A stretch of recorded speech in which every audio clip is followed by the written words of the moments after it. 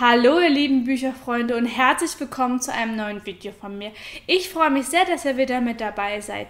Ja, ich möchte euch heute fünf Bücher von und über eine Autorin ja vorstellen, die mich eigentlich mein Leben lang schon begleitet hat.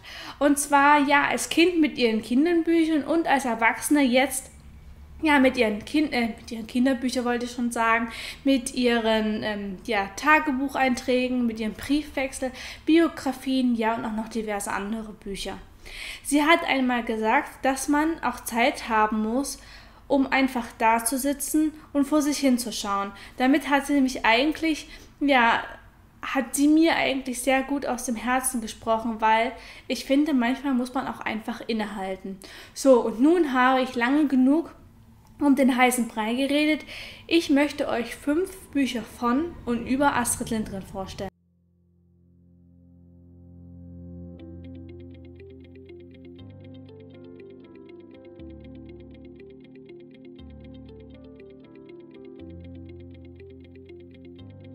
Ich würde sagen, wir beginnen mit dem klassischen Kindersachbuch und zwar äh, Besuch bei Astrid Lindgren von Kerstin Jünkren aus dem Oettinger Verlag.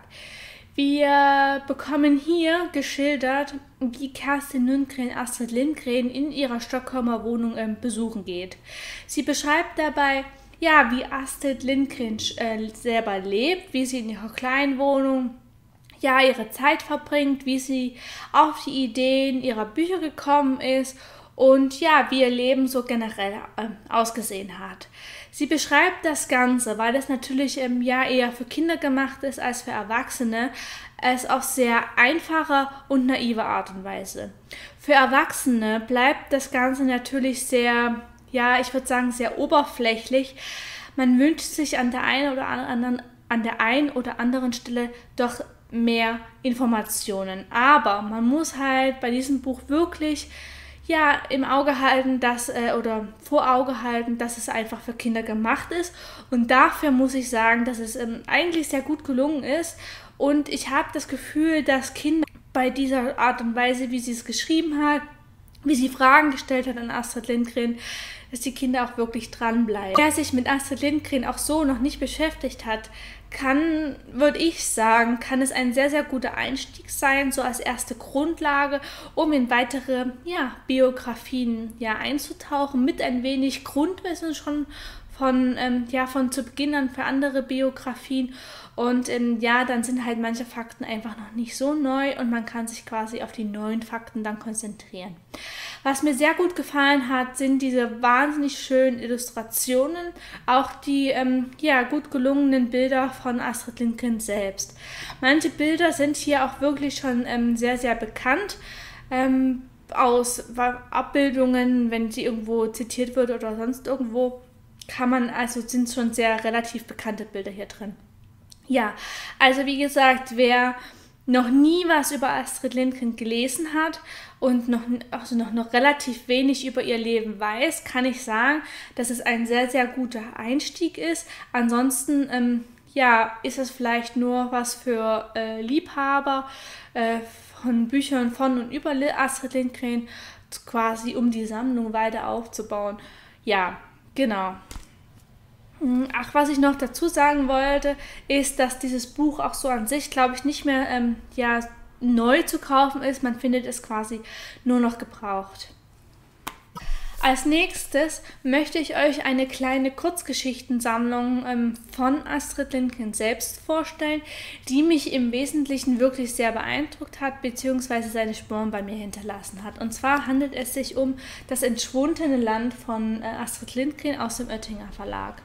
Auch hier gleich zu Beginn möchte ich sagen, dass ich dieses Buch auch nur noch Gebrauch gefunden habe und ähm, keine neuere, neuere Auflage gefunden hat, aber ich denke, im Gebrauch findet man es doch noch sehr gut. Und zwar beschreibt Astrid Lindgren in, im schwundenen Land ja die Beziehung von ihren Eltern und zu ihren Eltern. Also sie beschreibt in diesen Kurzgeschichten, wie ihre Eltern sich kennengelernt haben, was für eine Liebe zwischen den Eltern geherrscht hat, aber auch wie ähm, ja, die Eltern ähm, ja, ihre Kinder erzogen, wie sie sie geliebt hat. Und ähm, hier drin steckt eine unglaubliche Hommage an ihre Eltern selbst. Also man kann in diesen kleinen Kurzgeschichten wirklich ja, die Liebe zu ihren Eltern herausziehen. Man spürt sie förmlich. Und ich finde, man merkt auch das Talent von Astrid Lindgren selbst, mit welchen einfachen und schlichten Worten sie es doch schafft, so viel Emotionen herüberzubringen. Jedenfalls ähm, ist es bei mir sehr gut gelungen. Ich bin ja ansonsten nicht so der Typ für Kurzgeschichten. Ich habe immer das Gefühl, dass es für, für mich immer so ein Anfang und ein Ende fehlt ich bin einfach klassisch, äh, nicht klassisch der Typ für Kurzgeschichten. Aber hier muss ich sagen, dass sie für mich sehr, sehr rund waren, dass ich nie das Gefühl gehabt habe, dass mir ein Ende, an Anfang und ein Ende gefehlt hat. Ja, sie waren für mich einfach rund und ähm, sehr gut gemacht. Und ähm, was mich hier sehr beeindruckt hat, war einfach, wie ich schon sagte, wie sie mit einfachen Worten die Liebe zu ihren Eltern transportieren konnte und dass man es auch selber spüren konnte und ja auch abgenommen hat. Dieses Buch, wer noch nie, ja, sag mal, ein anderes Buch von Astrid Lindgren gelesen hat und ähm, ja quasi nur ihre Kinderbücher kennt, dem kann ich dieses Werk definitiv empfehlen. Man lernt hier auch noch, ja, das eine oder andere vielleicht noch über ihre Bücher, wo sie ihre Ideen her hat. Und ähm, ja, genau, ich kann es euch nur empfehlen. Und ich wollte euch, ähm, bevor ich es vergesse, beinahe hätte ich es vergessen, möchte ich auch noch zwei Zitate vorlesen, um vielleicht, ähm, was ich meine, zu untermalen. Und zwar, wie man, wie sehr man eigentlich die Liebe zwischen den Eltern spürt, aber auch ähm, die Liebe von Astrid Lindgren zu ihren Eltern. An einem ganz besonderen Abend im Mai 1961, nachdem sie sich beide hingelegt und ihre Gewohnheit gemäß die kleinen Tagesereignisse besprochen hatten, sagte Hannah einen Choral auf, den sie beide oft gemeinsam gesungen hatten, und dessen letztes, letzter Vers lautet Und naht die Todesstunde mir, noch diese Nacht, o oh Gott, dann ist mein Trost, dass ich bei dir im Leben wie im Tod. Es waren die letzten Worte, die Samuel August von ihr hörte. Kurz darauf erlitt sie einen Schlaganfall, und ein paar Tage später hat Samuel August keine Hannah mehr. Genau. Und jetzt noch, etwa, noch ein letztes. Manche gehen voraus und manche kommen nach, sagt er. Dagegen können wir nichts tun. Wie gesagt, mir läuft auch jetzt noch, wenn ich diese zwei Zitate vorlese, ähm, es eiskalt den Rücken runter, aber eher aus positiven Gefühlen her, beziehungsweise aus den Gefühlen, die mir transportiert worden sind. Ähm, ich kann euch dieses, wie gesagt, bereits ähm, dieses Werk nur empfehlen. Bei den nächsten beiden Büchern, die ich euch vorstellen möchte, komme ich eigentlich immer sehr ins Schwärmen, um, vor allen Dingen, weil ich bis heute auch noch sehr davon zerre.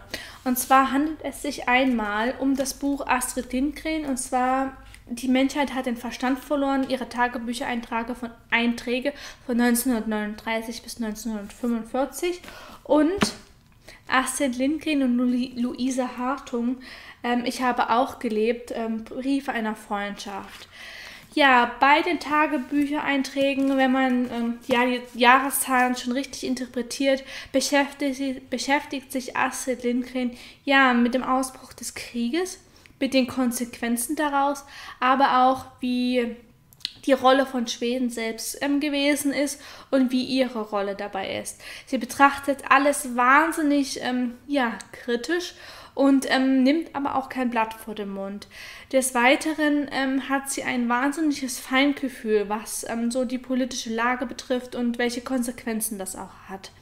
Nichtsdestotrotz, bei diesem ganzen politischen, politischen Hochgeschehen, auch bei diesem ganzen Kriegsgeschehen, vergisst Astrid Lindgren auch ihre Persönlichkeit nicht. Also es kommen auch, ähm, ja, ich sag mal, banale Dinge vielleicht für einen selbst, aber für Astrid Lindgren sind das natürlich keine banalen Dinge, aber auch, ähm, ja, ihr Leben verändernde, ähm, ja, Sachen, private Sachen, wie beispielsweise, ähm, dass, ja, sie ihren Mann kennenlernt und ihr Mann vielleicht, ähm, ja, sich als der Mann entpuppt, den er, der, der, als der Mann entpuppt, der er eigentlich gar nicht ist.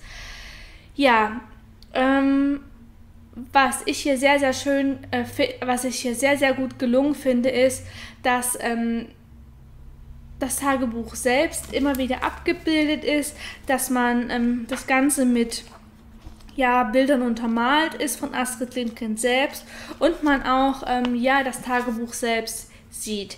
Was mich hier sehr beeindruckt hat, ist, wie ich bereits sagte, dass Astrid Lindgren ein wahnsinniges Gespür dafür, hat, also das ein wahnsinniges politisches Gespür. Sie ist sehr feinfühlig, ähm, interpretiert Dinge, glaube ich, von Anfang an sehr, sehr gut und vor allen Dingen auch richtig und hat ein wahnsinniges Gespür und setzt auch ihr Heimatland Schweden ähm, ja, ich würde sagen, in die richtige Rolle, beziehungsweise kritisiert es auch dafür, ähm, ja, wie es im Krieg selbst handelt und dass es sich so zurückgehalten hat, fand ich sehr, sehr gut und sie nimmt auch, ähm, ja, kein Blatt vor den Mund. Und natürlich erfährt man hier, aufgrund natürlich der Tagebucheinträge, was Astrid Lindgren für ein Mensch ist. Wie wie sie mit pri privaten Dingen umgeht und ähm, ja, wie verzweifelt sie an manch anderer Stelle ist, was man natürlich nur durch ihre Kinderbücher überhaupt nicht mitbekommt. Genau. Bei dem zweiten Buch ja, lesen wir ähm, ja, der, den Briefwechsel zwischen Luisa Hartung und Astrid Lindgren. Auch hier kriegt man einen wunderbaren Einblick in die Persönlichkeit von Astrid Lindgren, aber natürlich auch von Luisa Hartung. Ah, aber auch nochmal eine ganz andere Weise wie durch die Tagebüchereinträge. Man kriegt quasi mit Ergänzung dieser Briefwechsel quasi nochmal ein runderes Bild von Astrid Lindgren. Wir erfahren noch mehr, was sie für ein Mensch ist, vor allen Dingen, was sie für ein Mensch ist in Bezug zu ja, anderen äh, Menschen, wie sie ihre Freundschaften pflegt, was ähm, sie mag, was sie nicht mag und auch ähm, ein, man kriegt hier auch einen wunderbaren gesellschaftlichen ja, Eindruck von äh, ja, der Zeit. Wir befinden uns hier so in den, ich glaube, es waren so in den ja, 50er, 60er Jahre. Und ja, wie Menschen damit umgehen, äh, wenn andere Menschen sie in sich verlieben und ähm, ja, was die Zeit damit auch macht und welchen Einfluss die Zeit dazu hat. Ich fand es sehr, sehr interessant, vor allem weil die Freundschaft mit den Jahren immer intensiver wurde, auch wenn bestimmte Dinge einfach schon ja geschehen sind zwischen der, in den Freundschaft in der Freundschaft zwischen Luisa Hartung, aber dass trotzdem aufgrund dieser Distanz, also Luisa Hartung lebt in Berlin, ja, ich glaube, es war Berlin, und ähm, Astrid Lindgren in Stockholm beziehungsweise in Schweden. Und ähm, ja, dass diese, dass diese Freundschaft auf diese große Distanz immer noch bestehen bleibt und ähm, ja, es gepflegt wird. Beide Bücher, also sowohl ähm, die Tagebücher als auch die Briefwechsel, muss man schon sagen, dass sie natürlich ganz anders zu lesen sind als ein ganz klassischen Roman oder ähm, ja, ganz klassischer Roman. Ähm, ich finde teilweise, dass sie einen doch schon erschwert zu lesen, weil sie natürlich auch ähm, anders gelesen werden, jeder Brief für sich und äh, man liest halt, aber man liest halt anders hintereinander weg, sag ich mal. Es bietet sich aber auch an und das ist einfach der Vorteil, dass man hier nebenbei auch ein anderes Werk noch lesen kann, beziehungsweise sie sich klassisch einteilen kann. Also vor allen Dingen bei den Tagebüchereinträgen kann man sagen, man liest halt erst das erste halbe Jahr von dem Jahr oder bei dem Briefwechsel. Aber nichtsdestotrotz kann ich beide Bücher wirklich nur empfehlen. Ich mochte in beiden Büchern die Aufmachung, wie sie ähm, ja gestaltet ähm, sind. Das werde ich euch auch jetzt nochmal zeigen und ähm, dass man eigentlich einen wahnsinnig guten Eindruck von Astrid Lindgren, einen persönlichen Eindruck von ihr bekommt und ähm, ihre Werke vielleicht auch noch ein Stück weit ähm, ja, anders interpretieren kann, auch anders ähm, ja, äh, wertschätzen kann. Das letzte Buch, welches ich euch jetzt vorstellen möchte, ähm, ja, habe ich dieses Jahr erst auf der Leipziger Buchmesse gekauft, weil ich es da auch erst entdeckt habe. Aber der ein oder andere wird sich gar nicht wundern, warum ich es mitgenommen habe. Natürlich ähm, aus dem einfachen Grund, weil es sich natürlich um Astrid Lindgren handelt. Ähm, da kann ich eigentlich fast gar nicht dran vorbeigehen, aber auch, weil es von der ähm, Illustratorin Lisa Asiato ähm, illustriert worden ist. Und zwar handelt es sich um Astrid Lindgren und ihre fantastischen Geschichten aus dem Wow Book Verlag von ähm, Agnes Margaret äh, B. Wonder.